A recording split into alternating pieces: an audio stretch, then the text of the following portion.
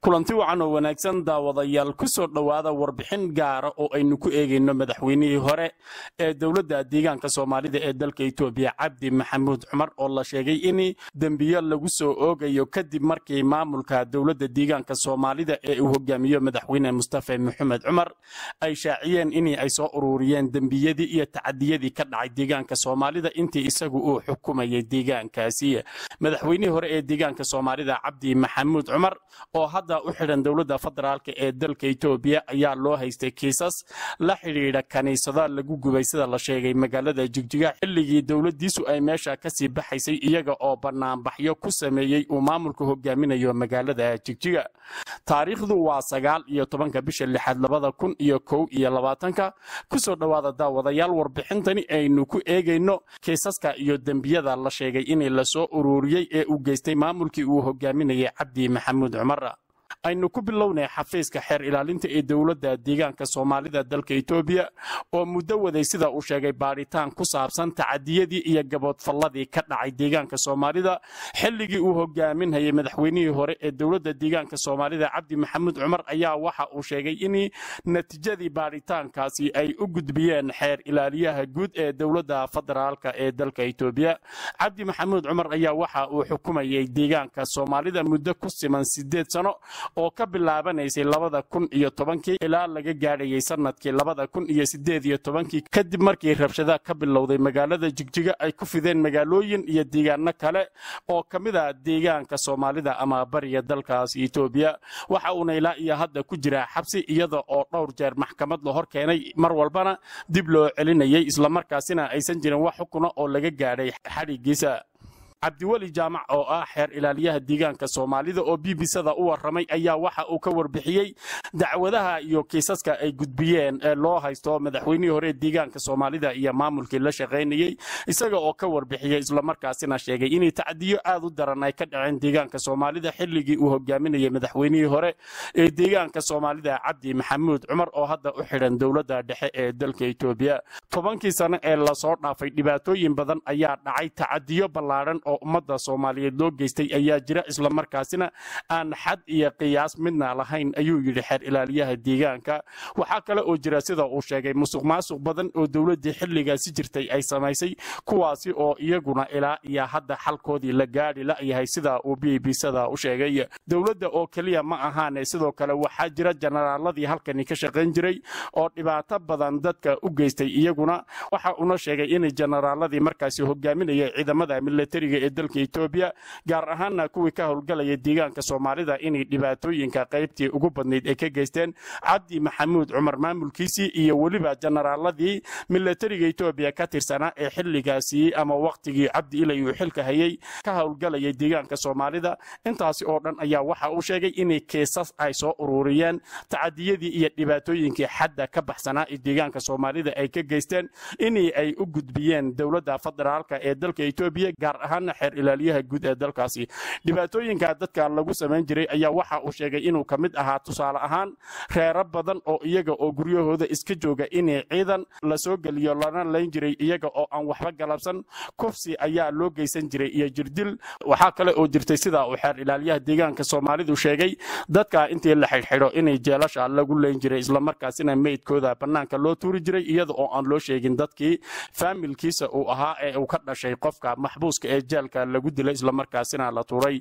Sidaa jeel ogaadeen oo kale waxa uu sheegay inay dhibaatooyin xadda ka baxsan oo aan la qiyaasi karin ay ka dhaceen dembiyadaasi iyo kuwo kale oo badan oo deegaanka soomaalida ka dhacayna ay yihiin kuwa ay ururiyeen ee ay u gudbiyeen xeer ilaaliyaha guud ee dalka etoobiya dhibaatooyin ballaadhan ayaa waxa ay ka dhaceen deegaanka waana la wada ogyahay wax makhraati u baahan ma aha. Waa midda keliya ee hadda aan cidna la weydiinhaynin qof walba oo soomaali ah oo xataa aan ahayn soomaalida deegaanka oo ay ku jiraan soomaalida kale ee soomaali weynta xorta ah.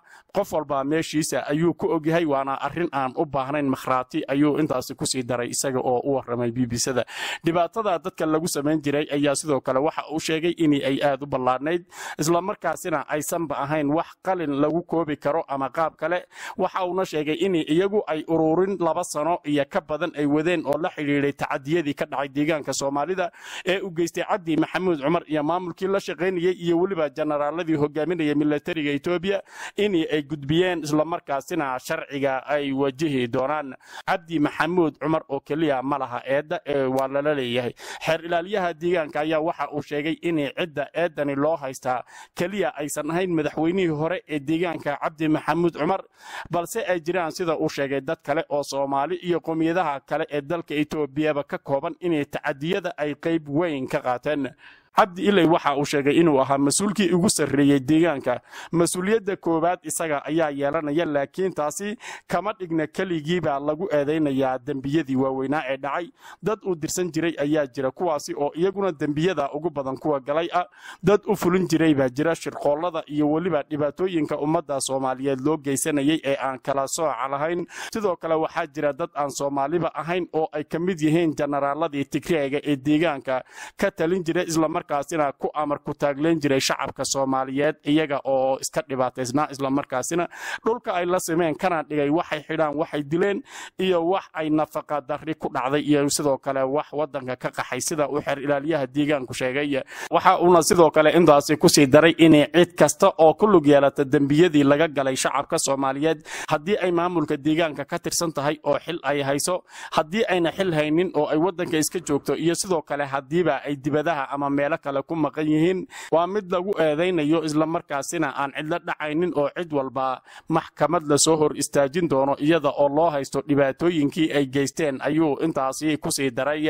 si kastaba xeer ilaalyaha guud ee deegaanka soomaalida cabdiweli jaamac ayaa waxa uu sheegay in ay soo ururinayeen kiisaskan iyo dembiyada laga galay shacabka soomaaliyeed ee deegaanka soomaalida tobankii sano ee la soo dhaafay laba sano iyo bar. Wax ka badan ay soo ururinayeen islamarkaasina ay soo dhammaystireen. Hadda waxa uuna sheegay in haddana ay gaadhsiiyeen xeer ilaalyaha guud ee dowladda federaalka etoobiya cabdi maxamuud cumar. Cabdi iley oo loo haystay dembiyo waaweyn oo dowladda etoobiya ay u haysatay islamarkaasina ay ahayd kadib markii magaalada jigjiga ay banaanbaxyo ka dhaceen taasi oo dhibaatooyin ay ka dhasheen iyada oo kiniisado la gubay. Sidoo kalena dad lagu laayay arrimo la xidhiidha iyo weliba amarjiidooyin la sheegay in dowladdii cusbeyd ee uu hogaaminayay xilligaasi. Ilaa iyo hadda abiya axmed uu sameeyey madaxweynihii hore deegaanka soomaalida ayaa loo haystay uuna u xidhan yahay ilaa iyo hadda. Inkasta oo marar kala duwan maxkamadda la hor keenay mar walba dib ayaa loo celinaya mana jirto wax tallaaba qaad ama xukuna oo la sameeyey balse kiisaskani cusub ee hadda la gudbiyey islamarkaasina ah dembiyadii iyo gaboodfalladii deegaanka soomaalida ka dhacay intii xilka uu hayay cabdi maxamuud cumar cabdi iley ayaa laga yaabaa inay noqdaan culayska ugu weyn ee uu la kulmi doono madaxweynihii hore ee deegaanka soomaalida isaga oo ay la xidhan yihiin islamarkaasina isku kiisas loo haysto laba ka mida golihiisii wasiirada ee xilligaasi. Dhinaca kale xeer ilaaliyaha deegaanka ayaa waxaa wax laga weydiiyey xaaladda deegaanka soomaalida ee dalkaasi etoobiya hadda sida uu yahay saddexdii sano ee la soo dhaafay ayaa waxaa la sheegayaa in deegaanka soomaalida ee wadanka etoobiya ay ka dhaceen dagaalla beeleedyadii ugu badnaa muddooyinkani dambe kuwaasi oo galaaftay nolosha dad badan halka dunyo badanna ay ku waxyeelowday su'aashaasi waxaa weydiiyey wariye ka socday laanta afka soomaaliga ee bbcda waxa uuna yidhi xeer ilaaliyaha deegaanku sida tanna dagaaladaasi ayaa waxa ay ahaayeen iskudhacyo kooban mana jiraan. Dhibaatooyin badan oo ay geysteen inkasta oo dhimasho iyo dhaawacba ay jireen. Dadkuna ay ahaayeen dad la isku diray oo dhibaatooyin iyaga la kala dhex dhigay. Waa ay jireen dad dhintay iyo kuwo dhaawacmay iyo dhibaatooyin kaleba balse sidii hore iyo si u dhowtoona ma aha. Xaaladda deegaanku hadda waa ay degan tahay waana deegaanka dalka etoobiya ugu nabdoon xilligani aynu ku jiro ayuu ku jawaabay xeer ilaalyaha deegaanka soomaalida. Dagaaladaasi shacabka dhexdiisa ah ee deegaanka soomaalida ayaa badanaa waxaa la sheegay in ay sababeen dhulbeereedyo daaqsin iyo ceelasha biyaha laga cabo kuwaasi oo dadka xaalkooda deegaanka ay la socdo sheegeen in aysan dhici jirin xilligii maamulkii cabdi maxamuud cumar. Hase yeeshee hogaanka nabadgelyada ee deegaanka soomaalida ayaa waxa uu ku adkaysanayaa in deegaanku haatani uu ugu ammaan badan yahay horumar aad u wanaagsanna uu ka socdo. Xaaladda amni ee gobolka si guud waa mid degan aad ayay u fiican tahay. Dalka etoobiyana si guud waa meesha hadda ugu degan marka inta laga xusuusto taariikhiyan. Xaaladda deegaanka soomaalidu waa mid hadda nabadgelyo ah. Intaynu soo gaadhnayna waa wakhtigii ay ugu wanaagsanayd. Sidaasi waxaa yidhi oo sidoo kale b b sada u sheegay hogaanka nabadgelyada ee dowladda deegaanka soomaalida. Si kastaba ha ahaatee tallaabada ugu muhiimsan ee uu sheegay xeer ilaalyaha deegaanka ayaa waxa ay noqonaysaa in ay soo ururiyaan islamarkaasina ay soo dhammaystireen kiisas iyo dembiye loo haysto madaxweynihii hore deegaanka soomaalida cabdi maxamuud cumar islamarkaasina ay u gudbiyeen xeer ilaaliyaha guud ee dowladda federaalk ee dalkaasi etoobiya maqashay marka deegaankeena dib loogu noqdo tobankii sane u dambeeyey dhibaatooyin badan ayaa ka dhacay waxaa ka dhacay tacadiye ballaaran oo ummadda soomaaliyeed loo geystay baa jira waxaa kaloo jira musuqmaasuq badan oo dawladdii xilliga ah jirta ay samaysay baa jira waxaa kaloo jira dawladda keliya ma ahayn laakiin waxaa jira dad kale oo generaaladii halkan ka shaqayn jiray oo dhibaato badan dadka soomaalida u geystay baa jira. Marka dhibaatooyinka dadka soomaalida loo geystay tobankii sano u dambeeyey mid la soo koobi kara maaha waa mid aada u ballaaran. Waayahay dhibaatooyinkaasi maxay isugu jireen? Walaal waxa weeyaan dhibaatooyinka waxaa ka mid ah dadka lagu samayn jiray tusaale ahaan dadka oo guryahooda iska jooga oo reero dhan oo yaalla ayaa inta ciidan la soo geliyo la leyn jiray iyagoo aan waxba garabsan.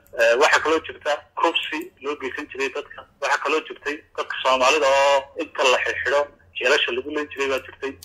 Tusaalaan sida jeelogaadeen oo kale dhibaatooyin ballaaran oo ayaa ka dhacday waa looda ogyahay marka dhibaatada dadka soomaalida lagu samaynayay aad bay wala hadda cabdi maxamuud cumar waa uu xidhan yahay jawaabna arrimahan kama bixin karo. Idinku idinka eedeynta soo jeediyey baaritaanka sameeyey idinkii ayaa maamulkiina ah. Marka arrimahaas aad noo sheegayso inay wax sax ah yihiin ama eedeyn saxa ay tahay sidee lagu caddayn karaa? Kolley walaal waxaa lagu caddayn karaa inay dhibaatada dhacday ku lawada ogaa weeyaan. Cabdi maxamed cumar isaga mas'uuliyadda lahaa oo deegaankan iyo dadkan maamulayay isaguna dacwadda marka la soo ogeyana qofka la dacweynayo kolley dacwadda waa loo dhiibi doonaa oo uu ka jawaabi doonaa. Markaasaa la ogaanayaa oo isagoo xora ayuu maxkamadda kaga jawaabi doonaa looyar ku samaysan marka wax maaha macnihii isagu ka maqnaanayo. La'aantii dacwadda mid la oogi karo maaha dadkii xilligii maamulkii cabdi maxamuud cumar shaqaynayay iyaguna maamulka ka tirsanaa weli qaarkood xilal ayay hayaan. Marka maxaa dembiyada iyo tacadiyadii dhacay cabdi maxamuud cumar keligii dusha looga saaray oo dadka kale maamulkiisii ku jiray looga reebay? Walaal waxa weeyaan kolley cabdi maxamed cumar sidaa sheegtay waxa weeyaan waa mas'uulkii deegaankan ugu sarreeyay weeyaan. Marka isagu wuxuu noqonayaa mas'uuliyadda koowaad buu yeelanayaa. Markaan leenahay micneheedu kama dhigno keligii baa lagu eedanaya maaha dad dirsan jiray baa jirta dad u fulin jiray baa jira shurqollada iyo dhibaataynta ummadda soomaaliyeed. Waxaa kaloo jira dad aan soomaali ahayn saan kuu sheegay oo generaaladii tigreegiiba deegaanka ka talin jiray ayaa jira. Marka mas'uuliyadda koowaad buu cabdi leeyahay markaan leenahay macnihii keligii baa la beegsanaya ama keligii baa lagu dacwanaya maaha cid kasta oo mataqaanaa dembigaa ku yeelata ma xidha hayso? Ama waddanka dibadda ha uga maqnaato waa waa mid la eedeynaya ayay noqon doontaa. Waayahay iminka goormeed dacwadda furaysaan oo aad maxkamad geyn doontaan? Dhowaan dhowaan baanu geeninaa